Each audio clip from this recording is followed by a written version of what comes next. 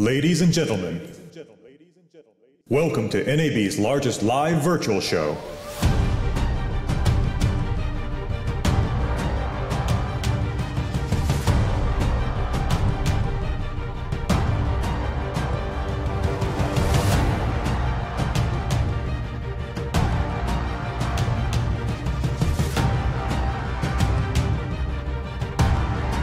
This is the Big AR Show. Hello and welcome to the Big AR Show. My name is Chris Black, and today I'm going to show you something completely new, something that's never been seen before before NAB. This is the brand new Viz Engine 4. Now, Viz Engine 4 is going to help you transform the way you tell stories in the studio using photorealistic augmented reality graphics and virtual studios. But before we get to that, let me first tell you a little bit about some of the tools that we're using here today. First of all, you see my little friendly robot running around the studio here. This is an Electric Friends robotic camera, and it is sending tracking data over to our Viz Virtual Studio software so that you can see the movement in the virtual set. Also, right over here, we have the Stype Human Crane. It's mounted with a Red Spy uh, optical tracking system. So as the crane moves around the studio, it is also sending tracking data over to our virtual set so that you can see that movement in the studio. And then our director is driving the entire live production right over here in our control room using the N-Quad system. All the graphics that you're seeing here today are rendered with the new Viz 4. Now, I've said virtual studio a few times here, but there's no green screen or blue screen here. What we're going to be using today is a combination of augmented reality graphics and the video wall to be able to create a very unique virtual set environment. In fact, we've already added a virtual studio into the video wall set itself. This is what we call the virtual window. And as the camera moves around the studio, you can see that it does have a lot of movement and depth to it to give us more space for telling different kinds of stories. Now, this first thing that we're looking at is we see this light pulsing on and off. So what I'm going to do now is tell you a little bit about how the different techniques that we can use to put together to create a virtual set that has some nice photorealistic attributes to it. So first off is lighting. So we're, what we're doing here is turning the light on and off. We're using global illumination to achieve our lighting in Viz 4.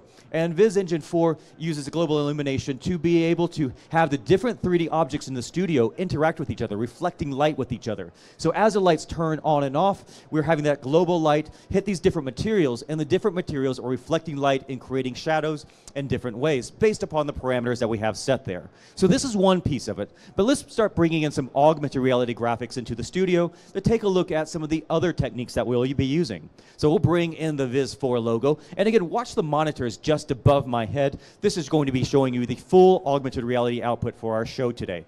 Now the Viz 4 logo right now has uh, being rendered using physical-based rendering. This is the rendering method that we're using for Viz Engine 4. And now we have a large library of materials that we can use to apply to these 3D objects. And so we're flipping through some of those materials now. And each material has a very robust editor so that you can adjust those materials to get the exact preferred uh, use and design that you want to have for that object. We're already also adding in some lighting there so you can see some nice reflections and soft shadows applied to the object. But let's bring in something a little bit more complex. Let's take the four out of the studio, add in the AR floor, and bring in our friend Robo Kenny. So we're going to open up the AR studio floor for a moment, and here comes Robo Kenny jumping out of the VizRT basement. There he comes. And so now what we're doing here is we're tying together a lot of different techniques to create a more photorealistic object in the studio. First, you see those eyes glowing there. That is using a bloom effect with the lighting. But you also look down at the feet. We have real-time reflections and soft shadows, uh, tying the, the virtual world to the physical world using the AR graphics. Now, if we swap over to the uh, Stype Red Spy system, we can take a look and take a closer look at the 3D objects. So we're going to use a crane to really go over here and take a look at some of the aspects there. Now, we have these different materials applied throughout the object. And so as the materials are hitting, getting hit by light, they are reflecting that light in different ways based upon the attributes of the material. That is creating different kinds of shadows, reflections, light blooms, and all of these are coming together to give you a very, very nice photorealistic look and feel. But let's take away Robo Kenny for a moment and then take a look at something a little bit more beautiful in the studio where we tie all of these techniques together. So we're going to change out our virtual set for a moment, bring down the lights, And now let's bring the lights back up again. Here we are. This is a very beautiful 1962 Ferrari GTO. And as it's rendering in our video wall, this is not some clip that's playing out. This is not something that's created in a third-party th- 3D program. This is a 3D model that was brought into Viz Engine 4. We've added in our substance shaders. We've brought in nice, some nice materials, added in HDR lighting to give you this very beautiful presentation. But let's take a closer look and actually bring it out into the studio floor. So here it is driving out into the studio. You see those real-time reflections and lighting effects that's affecting the hood of the car. We're going to come around and rotate in here and take a closer look at some of these materials. All right, so let's zoom into the hood for a moment and see what we have there. Now, right as we get into the hood here, you can already see that we have some of these nice real-time reflections. So uh, my face is actually reflecting in the hood of the car. So we're able to reflect the real world into the virtual objects to give you a nice uh, combination of the real and virtual. Not only that, but we're also able to change the depth of field that we have on the graphics. So right now I'm out of focus, but we can change the focus so the front of the car is now out of focus. And with that depth of field, we're giving the illusion of giving you a lot more depth to the studio space using the AR and the virtual set graphics. But let's zoom out a little bit and drive down the rails with our electric friend robot for a moment and take a look at some of the other aspect, attributes that we have here. So again, I have that beautiful HDR lighting on there. We have those substance shaders giving you some nice textures, beautiful reflections in the windows. You have that real-time reflection just below and all those soft shadows. So all of these are coming together to give you a really just breathtaking presentation of AR graphics in your studio. All right, let's roll this back out into the VizRT uh, garage, keep it protected over there, and take a look at what else we can do with using virtual sets in our studio space. So here we've added a, the virtual set back into our video wall again. Now let's take a little tour of our virtual set that we have here. Here we have some of those nice wood materials we've added in there, those real-time uh, reflections being added to the floor, the nice uh, uh, lights coming in. We also have some nice diffused lights coming in from the outdoor windows. But what I also want to take a look at here is the size of the studio itself. So the studio space that I have right now is fairly limited that we have in our physical studio here at NAB. But what we want to do now is use augmented reality graphics to be able to create a much larger virtual studio. So let's switch over to the red spy camera for a moment and then start moving that around and see what we have here. Now, as we start panning out, you can see that we have been able to expand the studio out into a much larger space. So using AR and these set extensions, we are able to greatly expand your virtual environment within your studio. In fact, the camera is now pointed out into the audience right now. You can see this is a massive virtual set. So we're going to roll this back around into the studio here. And what this means is if you have a very limited studio space in your production facility, just by using augmented reality graphics, you can make it look massive and cinematic live on the air. Now, this, of course, all without the need of a green screen or blue screen, because we're using AR graphics to create this set extension. But we also want to be able to use Viz Engine 4 to be able to do our AR, our uh, uh, virtual set productions using blue screens and green screens. And so let's bring in some green screen content. Last week we went to Vienna and visited ORF at their beautiful facilities there, and we shot a little bit of footage in their green screen environment that they use every night for their evening uh, presentations. And so here I am standing on that green screen. Now, right now, we're going to take a look at some of the issues that you run into using green screen content. First off, you see that green spill that you see here on my face, also in the hair, and some of the green spill coming into my shirt. Uh, this is a little bit of a problem that you have with a lot of chroma keyers, where the green is so intense that is spilling onto the skin. Now, what we want to protect, though, is we want to protect the high detail that we have of the border between my shirt and the green screen and the virtual set. Uh, same with my hair. We want to be able to have a very clean key on all of these features. So using the new Fusion keyer, we're going to be able to give you a very, very clean key in your virtual studio. Let's take a look.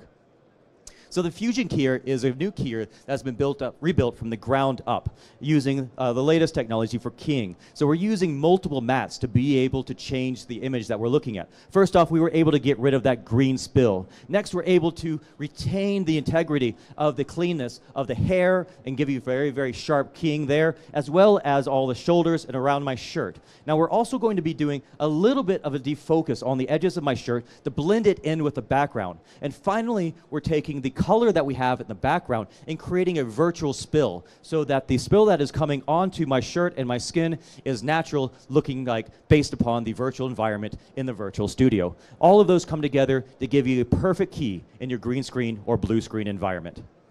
All right, let's uh, take a look at a couple other things with Viz Engine 4. Now, Viz Engine 4 is not just about creating beautiful virtual studios and augmented reality graphics, even though it is really fantastic at that. It is also the centerpiece of your complete live production capabilities. So first off, it is totally IP ready. So you are ready to go for the IP future using NDI, SMPTE 2110, or whatever format you prefer to use uh, as your IP production. But we also have the ability to have a very flexible licensing structure. So your same Viz engine that is using, uh, being used to create AR graphics today can be used as a live production system tomorrow, or even a clip player the next day. You have control over your flexible uh, licensing system so that you can change that on a day-to-day -day basis, all using the same system.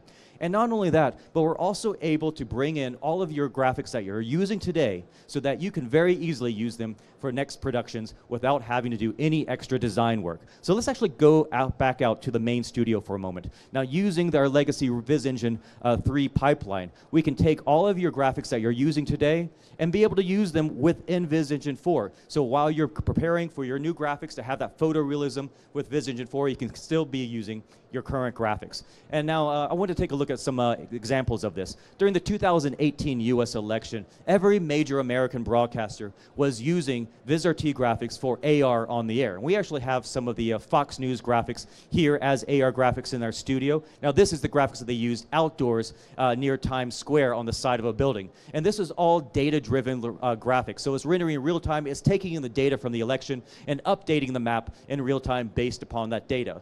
But I also want to do a little bit more of this. Let's take a look at a different graphic coming in from Tencent. Now these graphics were designed by our friends at Giraphic, and we're going to bring in that Tencent uh, graphic in here. And what this is going to allow us to do is interact with the 3D graphics. So Tencent likes to have their audience send in information on WeChat and tell them what their favorite play of the day was, and then they'll profile some of the, the fans out there that can understand what they really liked about the game. So what we're going to do now is be able to profile one of these players. So to reach in here and grab this one, pull her up. There we go. And so now using the Stype follower, I'm able to interact with the AR graphics in the studio. That I can give me a full physical interaction with not just the AR, but also the virtual set. And I can do things like I'm doing now, moving the graphic around, but I can also grab the graphics, rotate them, scale them, and trigger different events. So now I have full tactile capability of interacting with all the graphics in our virtual set. All right, let's toss this away for a moment, take that out of the studio, and let's bring in another graphics package from the NFL network, which is also a design from our friends at Giraphic. Here we are, so now this graphic coming in from the NFL network. Now this is a very simple graphic, but as the camera moves around, it has some nice parallaxing. But the reason I bring up this graphic is because it kind of harkens back to the founding of VizRT in 1997, where we were founded by a TV station that wanted to empower their journalists to be able to tell stories without any kind of technical hurdles.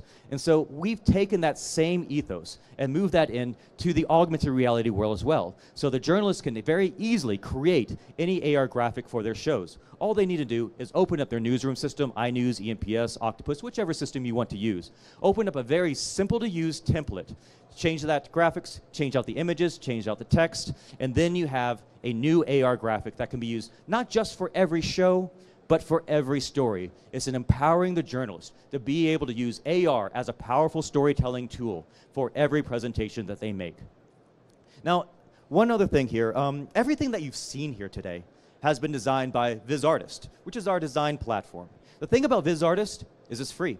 You can go to vizrt.com right now and download your free copy of Viz Artist and begin designing right away. In fact, right after NAB, we are going to be hosting a webinar. We'll be showing you the latest features of Viz Artist 4 and Viz Engine 4, and also giving you the ability to download your copy of Viz Engine and Viz, I'm uh, sorry, your, your, copy of Viz Artist. So if you want to sign up for this right away, we have an iPad right on this corner of the screen here where you can go over there, scan your badge, you'll be signed up for that webinar, and you'll be able to get your free copy of Viz Artist. So uh, next up, we're going to take a look at how all of this works in the newsroom. I was talking about that journalist-driven workflow. We want to take a closer look at that. So we're going to do that with our connected storytelling presentation hosted by Vegard. We're going to take a look at how you can create the graphics in the newsroom, control them in the control room, and then publish live to air and to multiple devices. So thank you very much, everybody. Please stick around for Vegard's presentation on connected storytelling, and I'll see you soon.